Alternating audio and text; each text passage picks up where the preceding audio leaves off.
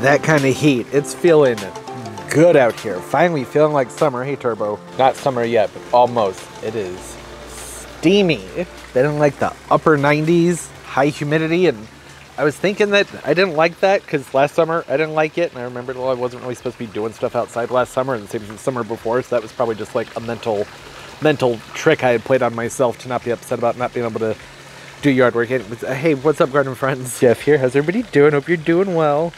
I'm great. Beautiful day. What is oh, turbo? A hot day. That's how it's been all week. I'm going to have to do things differently because this camera, these things overheat like crazy when it gets to be like over 95. So uh, I think this is probably going to be more of like a hangout vlog. I just peter around, get a few little things done. I have a broken drip line down here that I need to get reset. You see the plants. They would probably really appreciate that. And then there's some questions to answer. Somebody asked where I got these fountain things. See this, the, that right there? I think that was Amazon. I'll try and find it or something similar and link it down below. There's two of them. Turbo loves these things. He's always knocking them over and pushing them down to the water. It's just hot outside, having the extra circulation, just something to break the surface tension helps cool the water off. It's not a lot of fun swimming a mile in water that's like 90 degrees. Champagne problems, stupid thing to complain about. Just saying, it's, it's like a little solution for when it gets really hot outside. Uh, the irrigation, that's all set up. They came out, got everything up and running, which is fantastic, just in time when we're having triple digit temps to get those running, keep things watered. I had mentioned this line that's right here. I was like, I don't know what that goes to. It was sticking up there in the trees. It got unearthed when the old palm tree was removed. The crane pulled it up and I was like, huh, wonder what that goes to. I didn't think much of it because there's an active line that goes to the sprinkler head right there. And I remembered a few years ago that a line had been chopped and they came out and fixed it. And I assumed that this was the old line, but nope. That's not what it was. Stood out here for a long time with the guy who owns the company and we were fidgeting with it and all the zones were running and water was coming out of this one and all the sprinklers were going all around the yard which meant everything was up and running but then i was like wait a minute if everything's on how come none of the sprinklers are running over here uh-oh so apparently this is the line that goes underneath the patio and connects the sprinkler system to over there in order to repair that you have to pull the palm tree up because the access line that goes under there for it is what's down there. And as I didn't want to do that. One, it's too hot. I know it's their job to be working outside. I feel bad having them do that. They're booked up. They squeezed me in at the last minute to get out here just because it was so warm. The thing is though, I don't necessarily like the spray irrigation in this bed anyways. You can see this head that I have sticking up right here. Always wonky. I always have to straighten it out. It gets broken a few times here and I always have to fix it. This raises up higher, but it just doesn't work. The angles everything has to move at, it's hard to tell in the video, but this is all bermed up fairly high. Everything has to drain down into a series of drains that runs under the patio and out to a storm sewer. So there's some pretty steep inclines here. I mean, for a garden bed this narrow, I'd consider a steep incline. Because of that, all these sprinkler heads have to be angled in a manner where they spend most of their time just getting the foliage wet, which eventually does get down to the roots, obviously. Mean, it still works, but it's not the best way to do it, and this is just one area from what?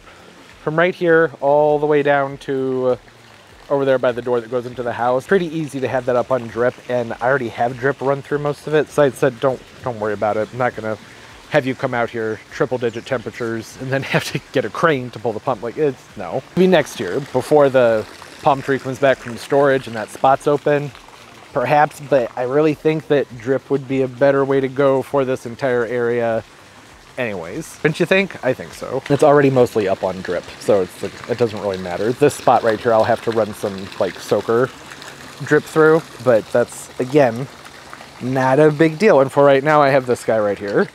That's saving me a lot of time. I've been spending my mornings out here getting the drip reconfigured, somewhat reconfigured. The main thing was getting the timers up and running. They're going shockingly everything works that never happens every year i have to replace at least one timer but everything's working so really all i have to do is need to add drip to these two big blue pots because I, I don't know the line's just gone maybe I, I don't think maybe i didn't have those two on drip last year i don't know why i would have taken them off other than maybe i just didn't get around to repairing something i don't know it doesn't matter those need to get reset onto drip.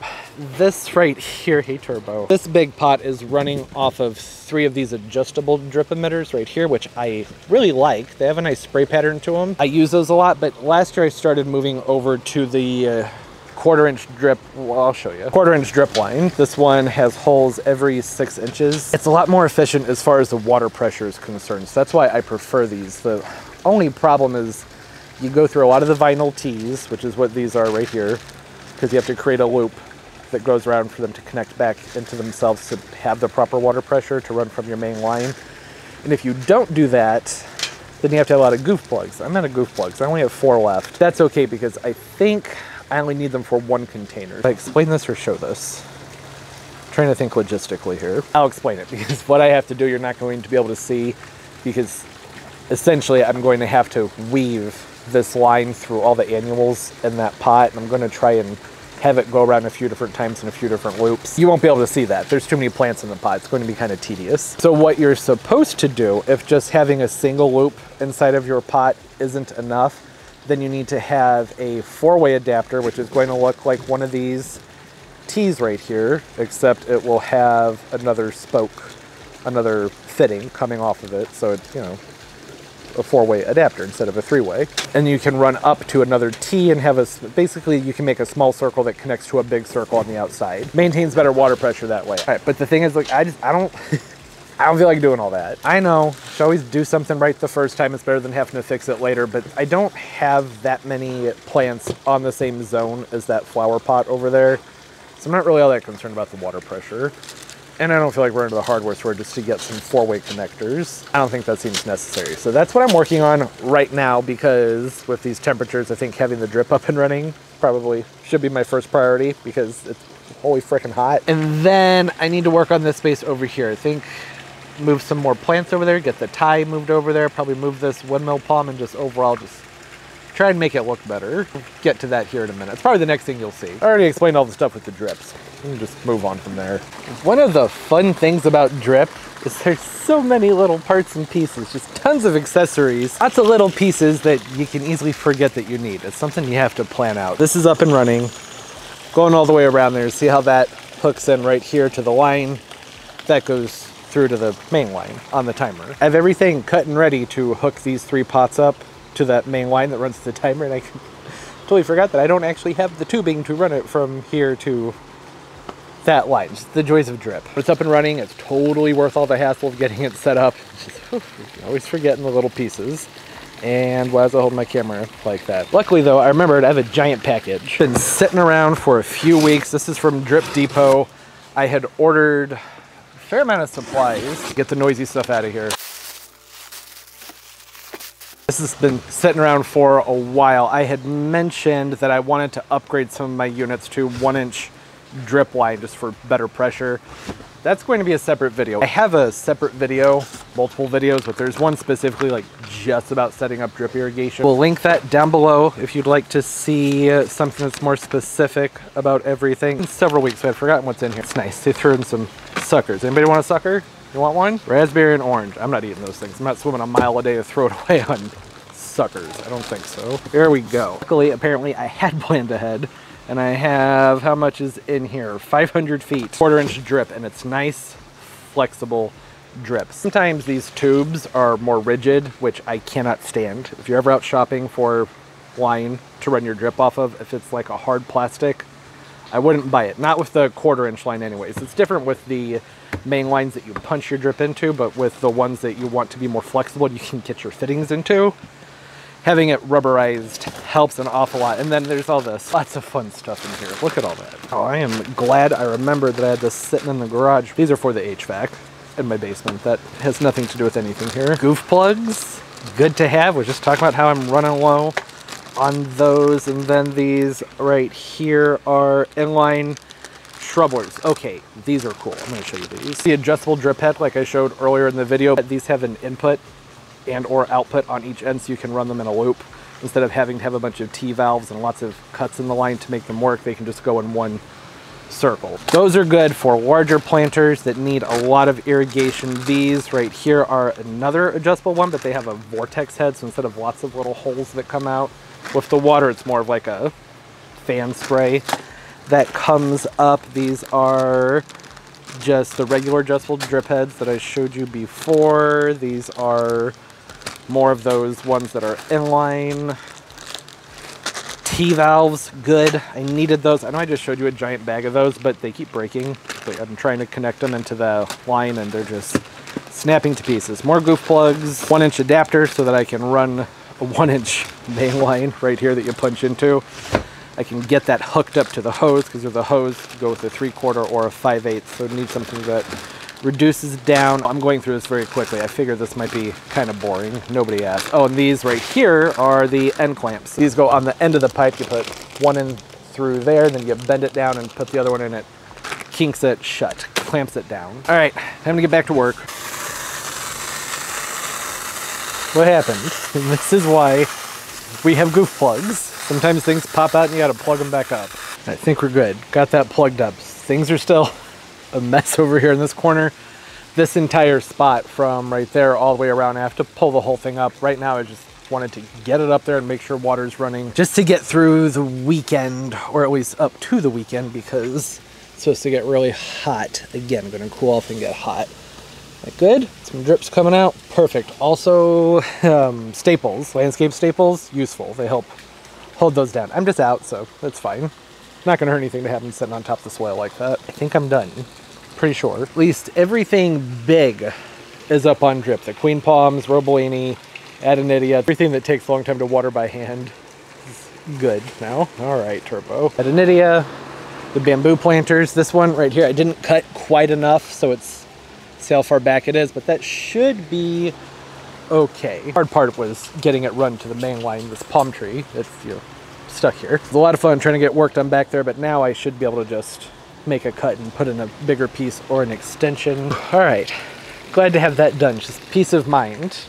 Almost everything is up on automated watering at this point. I have a lot of refining I'd like to do and some things I would make changes to, but this is this isn't the time.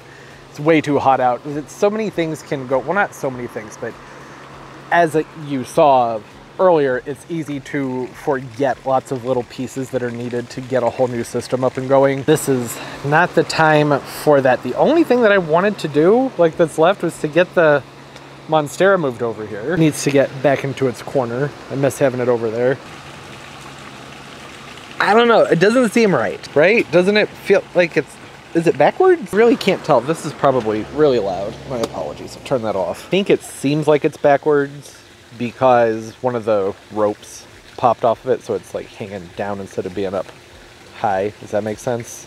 Hopefully. Also because only two of the leaves are facing out and everything else is facing away, but looking at the newer growth that's in here, which we're right there, see that little nub? Maybe you can see it sticking up in there. That should open out and face this way because they alternate as they grow along that stem. So I just, I'm thinking tie it up and maybe like twit, I don't know. I don't know what to do. I'll fidget with it. It's fine. It's at least over here. It's getting a good amount of sun. I was on the fence about that because where it was before, it was getting a lot, like a lot of sunlight for a variegated monstera, that is.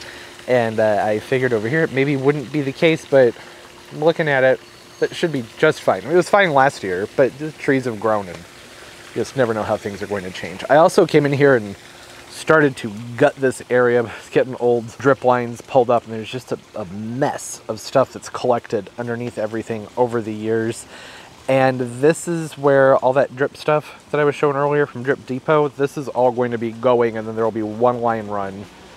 Hopefully, the idea is to have the line run back and behind everything up across this wall, going all the way down completely around the patio. Well, to like down there on the patio. And since it's a one inch line, I should be able to get more pressure because that is, because as it is right now, there are four lines and I still don't have quite enough water pressure for everything. Spent some more time researching, like upgrading to the one inch lines and it's not the same as using the half inch, which is what you typically would use. That's what that is down there to punch into for your drip. With the uh, one inch lines, there's like special like guides you need to use to help bend the pipe because they're they're like curves where things are going to have to go around some things and where those curves are if I bend it without these little guides that will kink the hose. It's just, it's not as flexible. That's all I'm saying. It's not as flexible and I don't have those parts. I need to order like six of the right angle guides to get it so it can bend up and go around and do some things. So I don't want to start unearthing too much digging around in here too much because if it ain't broke, don't fix it. And the, the drip is running, not to my satisfaction but it's running. It's going to get the plants through this next heat spell that's supposed to come through here in a few days. I'm apprehensive to do much more in this spot just because I know I don't have the water pressure to add more lines onto what's right here. Don't have quite enough pieces to set up the new stuff. And also it's supposed to be like 101, 102 and it'll just like stay unbelievably warm over the next several days. Well, the weekend's supposed to cool off and it's supposed to get hot again. I don't, I don't want to be out here doing that stuff regardless. It doesn't sound like fun. I don't mind being outside when it's hot. That was a nice surprise. I thought I would. No, it's great. I love it. But certain things, it's like, eh, I don't think so. Or Like run around and play outside. I don't want to do the hard stuff. But I was thinking that I need to backfill this with some gravel. Because you can see it's not level, so I need to get it leveled out and then figure out what I'm going to do with the Adonidia palms. I don't really want to leave it just sitting here. It goes right here, but the Monsteras and the... Oh, I'm going to play around with things, get some gravel down, maybe arrange the plants that I know have drip over here. Maybe bring a few more over. I don't think it's going to be a dramatic before and after, but I don't know. I'm going to give it like 15 minutes of work and see what I come up with over here. There we go. That's looking good. You looking good. Hey Turbo, how you doing, baby? Big improvement. I okay, it was 25 minutes instead of 15. I realized that I think what had happened here was perhaps when I redid this fountain this year, I had it over too far, so I had to take the entire fountain apart. That was fun. It actually wasn't that big of a deal, but drained it out, scooted it over, put it back together, and then I was able to rotate the Monstera, make some more room in here. I came in with the shovel. You can't, the ground's disgusting. I need a power wash. supposed to have some storms tonight or tomorrow, so I don't really feel like bothering with that. We haven't had significant rain in a while, so I know it's going to be a really messy rain. So I'll power wash over the weekend. That will help clear all this gunk out of here. I did go through an edge all of this with the shovel so things can drain out properly. And I dumped, I think it was seven bags of gravel in here. I didn't want to do too much because Have to get those new lines run and I didn't want to overbury the lines that are already down there. Got a couple triostars hanging out on each side, not necessarily where they're going to stay, it's just where I stuck them for right now. The Medinilla is back over here. Normally this Medinilla, normally, last year, just one time, I had it on a plant stand in there. It's right there. I don't think that that's going to get enough light back there. So I'm going to try it right here. See how it likes it. You can always move it around if it turns out that this isn't the sweet spot for it. That's easy enough to do. And I have things ready to be planted up in this container, but there are still some like caladiums and things coming up in here. You see that? I don't want to go digging around and tearing up that soil just yet. Yeah, that's not for you. I better not catch you eating those flowers. And I have a heliconia coming in the mail that I'm really excited about that I want to have planted in here. I had a similar heliconia planted in this container last year and it did wonderfully. So I want to give that another shot. So this is basically just like a rough outline, but it's a starting point and I like it. I think it came out nice. Oh, and by moving this over, I had to move all of those over. So I had to unchain the palm tree and just so I could scoot everything one foot. But I think in the long run, that's actually going to be better the amount of sun in this corner really does decrease every single year as these pine trees up here grow. Just by moving everything over by just that one foot. That's really all it was.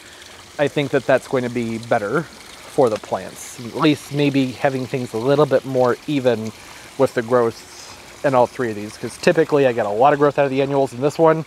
And then by the time you get down to here, not as much because it's more shady. And it still is but it's better than just leaving it more over there in the dark. I went back to the windmill palm. I got a new drip line run to that one because I realized the drip line that was on it wasn't working well. Added some earthworm castings and some compost and some slow release and think that that enrichment should help it because it's gotten a little bit scraggly. It had a rough spring, winter. I moved it out really early, so it had to put up with some pretty awful temperatures. It did okay, but it does still have some recovery to do. I think that this is nice. Need to move this palm tree still, but this is things are getting more clean and tidy. I have an order of soil that should be at the nursery for me to pick up soon. I can start repotting the mule palms and just finishing up with all those chores. Oh, and I did order Spanish moss This is in reference to last week's video. I have some Spanish moss coming in the mail that I can use to wrap in here with some bromeliads. I think that'll look really nice, but it's not going to be here for, I don't know, I don't think it'll be here till next week. Oh yeah,